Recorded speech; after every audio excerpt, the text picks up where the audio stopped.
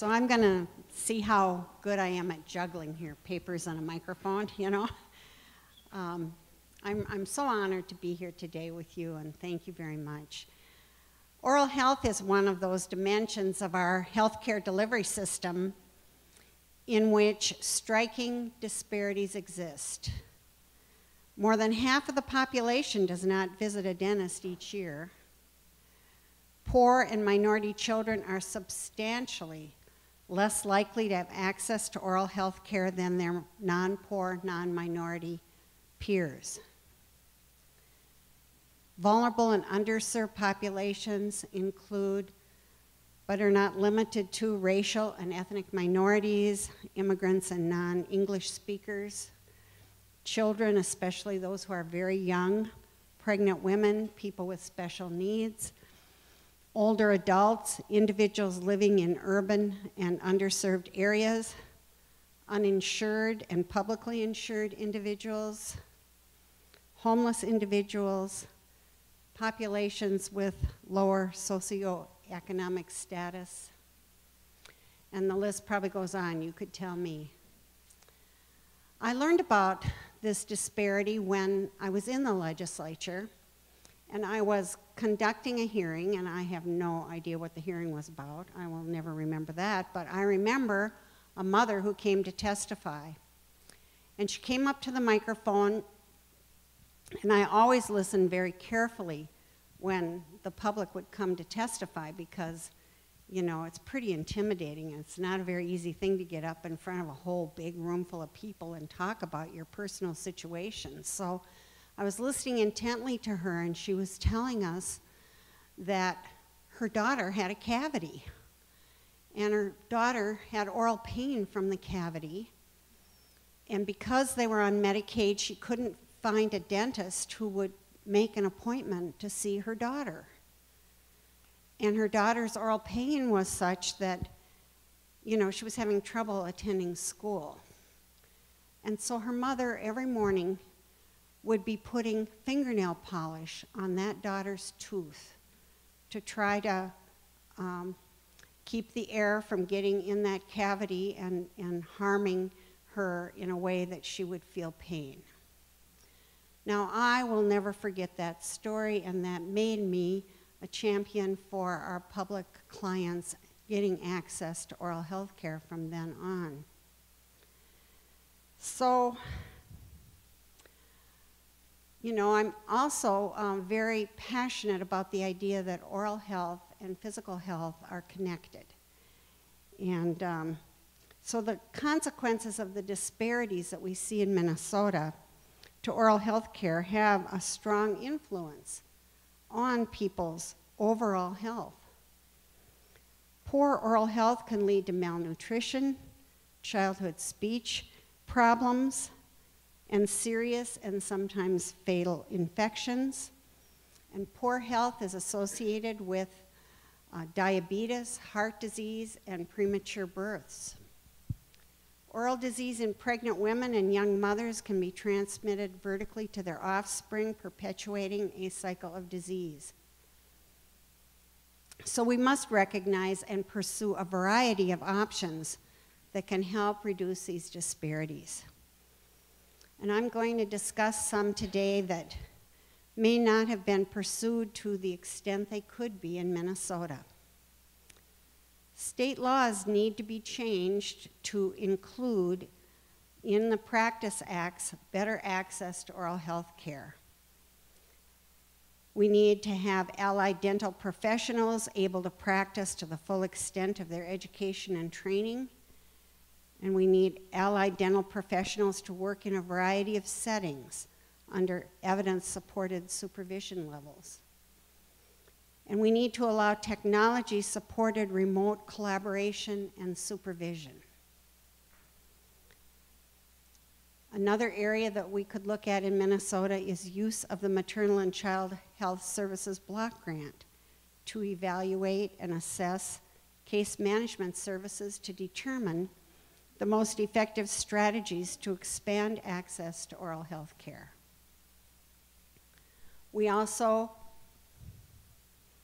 could have DHS look at and help facilitate federally qualified health centers in operating programs outside their physical facilities and take advantage of new systems to improve oral health of the population that they serve. This could enhance payment and reduce paperwork to dentists that may not serve public clients today. So understanding that oral health is an integral part of overall health, and therefore oral health is an essential component of comprehensive health care is important. So let's look at some ways that coordinating physical and oral health care could improve outcomes. I'm going to talk about six examples here today. The first is non-dental healthcare professionals can incorporate oral health into their routine exam and wellness visits with basic risk, assessments, oral exams, anticipatory guidance, and the provision of basic preventative services. For example, fluoride varnish is increasingly being applied by non-dental healthcare professionals and in community-based settings. An example is North Carolina's program Into the Mouths of Babes, which targets children from birth to age three. The project aims to improve practitioners' oral health knowledge, incorporate caregiver and parent counseling, and provide fluoride varnish applications, all done in primary care practices. They also aim to increase screenings and dental referrals for children with oral disease or who are at risk of disease.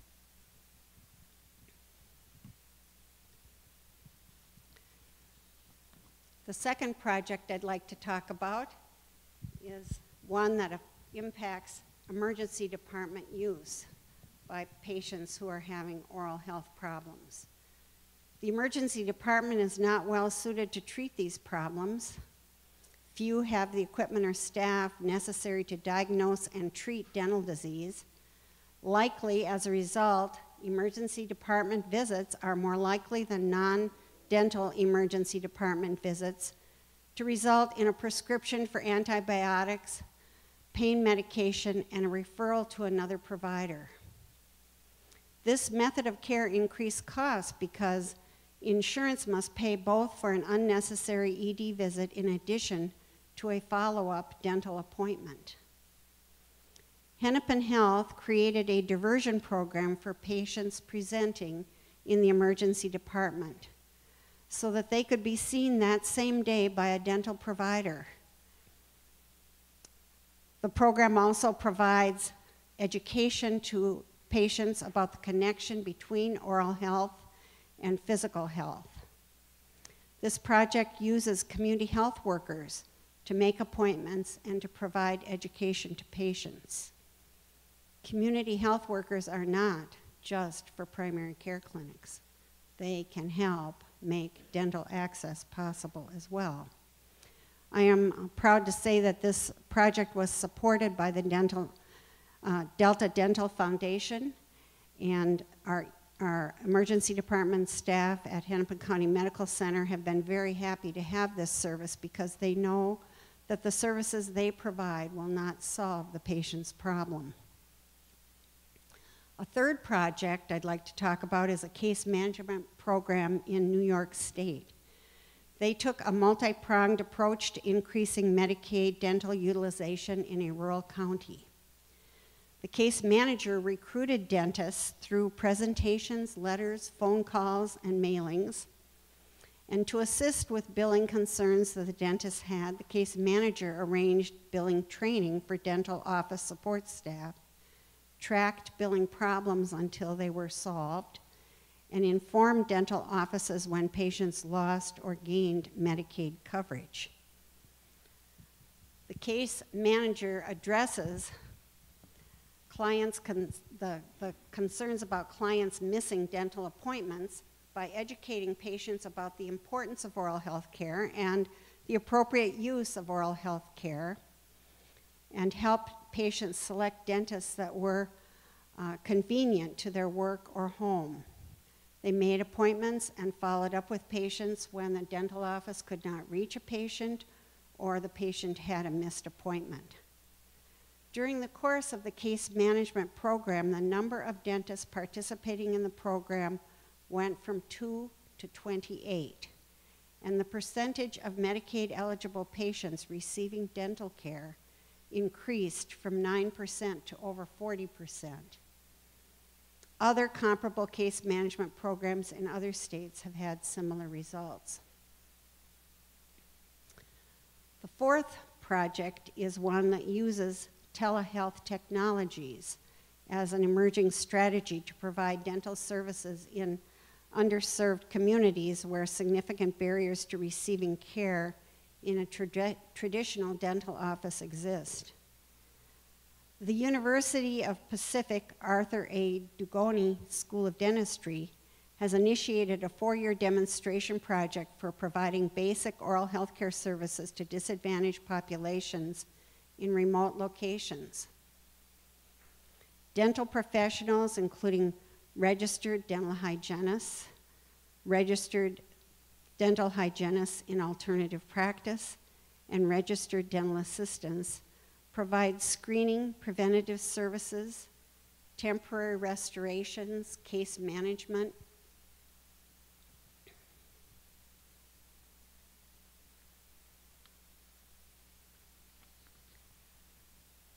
to low and disabled individuals. These are patients in nursing homes, public schools, and residential homes for the developmentally disabled individual. They are under the supervision of a dentist who is linked to the remote location electronically via um, portable video camera. The professional in the field electronically sends diagnostic information, uh, for instance, physical examination history, photographs, x-rays, to the dentist who reviews the material, makes a diagnosis, and develops a treatment plan. Then the field-based professionals provide preventative services such as oral hygiene, instruction, fluoride varnish, temporary restorations, and refer the patients needing dental services to dental clinics or private practices. In some cases in this project, dentists come to the remote site with portable equipment and provide services. At this time, they are providing services in nine remote sites. The fifth project I'd like to talk about is in a neighboring state of Wisconsin. The Marshfield Clinic in rural, in rural Wisconsin has been successful at reducing oral health disparities through a targeted, multi-site, federally qualified healthcare health center approach. As of July 2010, Marshfield Clinic operated seven dental clinics in rural Wisconsin. That number was projected to increase to nine in 2011, and they plan to operate 16 dental clinics through the state by 2016.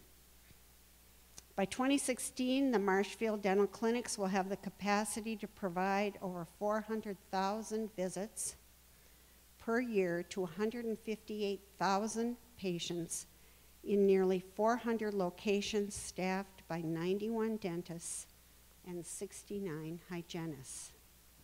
Marshfield has a four-part strategy for reducing oral health disparities in their community. The first is regionalizing care. The second is integrating dentistry with medicine. The third is treating all populations. And the fourth is training its own workforce to efficiently reach a dispersed rural population, Marshfield opened clinics in regional centers, which were often county seats. This strategy allowed them to place multiple dentists at each center, where they suspect this might improve dentist recruitment and retention. Marshfield integrated dental records into their medical records and vice versa, which has prompted their physicians to educate their patients about oral health and refer them to dental clinics. And it gives their dentists full access to patient medical records.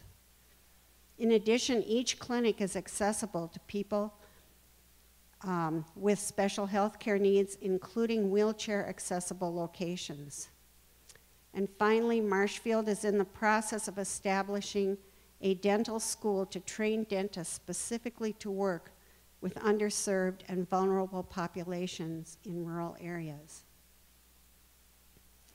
Three years after Marshfield opened its first dental clinic, the publicly insured population in the county where it is located accessed care at the same rates as those who have private coverage. In addition, costs per visit have decreased over time because the burden of disease has decreased in the population.